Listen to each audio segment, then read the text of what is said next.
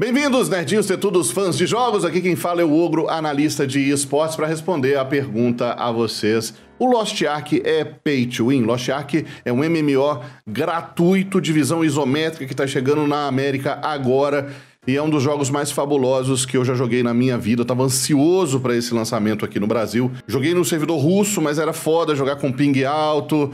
É, nem, a gente não tinha uma comunidade grande para jogar junto, tinha que ficar jogando com os russos, às vezes era um pouco chato. E aí eu digo pra galera que não é pay to win, o jogo não é pay to win, o jogo tem sim uma loja onde você pode comprar alguns itens, onde você pode comprar alguns benefícios, porém é, eu não acho que esses benefícios eles interferem no jogo de uma forma negativa, tá? Na região coreana, por exemplo, a loja ela é muito mais intensa e você tira muito mais benefício da loja, é uma coisa até da, da cultura, né? Os asiáticos eles trabalham muito, eles não gostam de perder ou investir tempo farmando, eles preferem comprar os itens, beleza? Então quando você vai jogar, você tem o jogo, né, gratuito a partir do dia 11 de fevereiro, mas você tem a possibilidade de pagar e ser um fundador e aí, se você pagar qualquer quantia, você já consegue jogar três dias antes. Você tem esse head start, beleza? Esse head start são três dias. Você começa a jogar no dia 8, tá bom? Se você quiser, tá? Dá, dá cerca de 75, 80 reais esse tira aqui bronze, tá bom?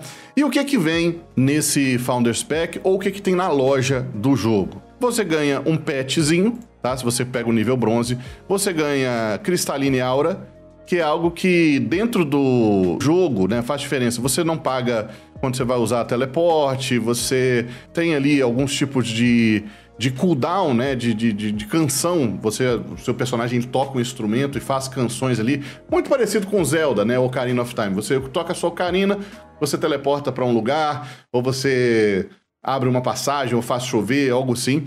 O seu cooldown das suas canções, eles diminuem um pouco ah, basicamente é isso, não é nada demais. Você, todo jogador pode usar teleporte, pode usar as canções, mas é uma melhoria de qualidade de vida. E você ganha aqui um título de fundador, tá bom? Mas vamos adiante aqui no nível Platinum, que é 99 dólares, tá bom? E eu não sei porque que eles estão vendendo pra gente em dólares, mas beleza. E aí eles têm aqui uma montaria exclusiva, você tem montaria, você tem um avatar de fundador e você tem Supply Crate. Por que, que eu digo que o jogo apesar de ter todos esses benefícios, todos esses itens que eles já estão dando de cara, ele não é pay to win. Absolutamente tudo que você compra com dinheiro, você farma dentro do jogo, tá? O dinheiro é só um jeito de você não querer investir tempo. E não é um farm absurdo, tá? Você consegue o seu gold, você consegue pegar é, os seus consumíveis, tá? Apenas de ressurreição, é, silver, outras coisas, né? Consumíveis, você pega isso tudo dentro do jogo. Até as montarias, inclusive, você ganha a montaria aqui, você pode farmar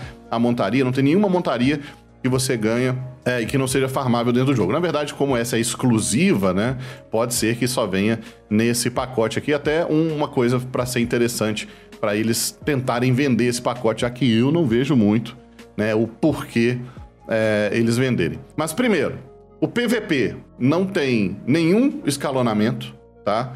Então, não importa se o cara tem uma guia de nível 7000 e você tem uma guia de nível 12. No PVP, você vai ter exatamente as mesmas habilidades que o seu adversário. Não importa se ele gastou, se ele gastou 5 mil reais no jogo, você nunca gastou nada. No PVP, tudo vai ser definido na escolha das skills, na composição do seu time, da sua equipe, se é 3x3, se é guerra de guilda, se é mass PVP, no seu posicionamento e no uso das suas habilidades tá bom? Então é uma questão de skill. Isso é muito interessante, ou seja, é, eu não acredito que num jogo onde o PVP é completamente balanceado, você possa falar que o jogo é pay to win.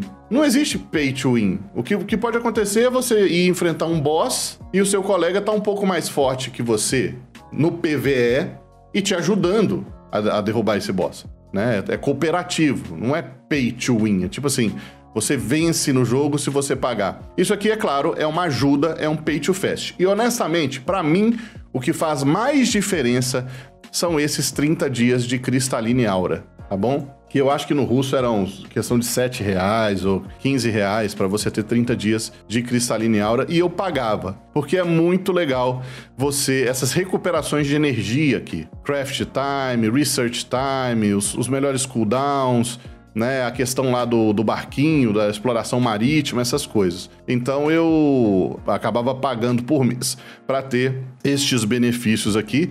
A gente também recebia um baúzinho, enfim, com poção. Poção normal para você usar em dungeon, assim, poção, essas penas de, de ressurreição, essas coisinhas aqui, que ajudava no dia a dia. Aqui, ó, poção, esses baúzinhos aqui, ó.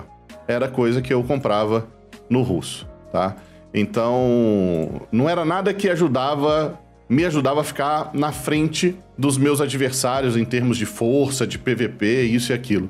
Mas era um negócio que me ajudava a não ter que ficar farmando poção ou gastando gold para poção, eu podia investir esse gold em algumas outras coisas. Então, já respondendo as perguntas aí, como é que funciona a loja no jogo, tem coisa pra caramba pra você pegar na loja, vários pets, várias montarias. Vai dar vontade de gastar, de gastar dinheiro. Se você quiser gastar dinheiro no jogo, gaste dinheiro, porque é um jogo bom pra caramba, é um jogo bem gostoso de jogar. Mas isso não te dá uma vantagem competitiva. Você não vai matar ninguém no PVP mais fácil, você não vai deixar de fazer um boss, ou um desafio, ou um farm, porque você não comprou algo na loja, tá ligado? Você pode fazer o seu farm, você pode pegar o seu equipamento e continuar fazendo o conteúdo da mesma maneira, tá bom? Espero que eu tenha aí tanto elucidado para vocês essa coisa do Founder Pack, né, que é opcional. Quem compra começa a jogar um pouquinho antes. E, sobretudo, as recompensas, eu acho que a Cristalina Aura é a mais legal. E a coisa do Pay to Win. Como vocês já viram aqui, que tem uns itens, né, que eles dão de, de brinde mas esses itens são itens consumíveis normal, é poção, é coisa né, que não vai fazer o seu personagem ficar tipo um deus, enquanto o personagem de outro vai ficar um bosta. É tipo tudo no mesmo nível, tudo bem tranquilinho, beleza? Espero que vocês tenham gostado. Deixe o seu like, compartilhe se inscreva no canal.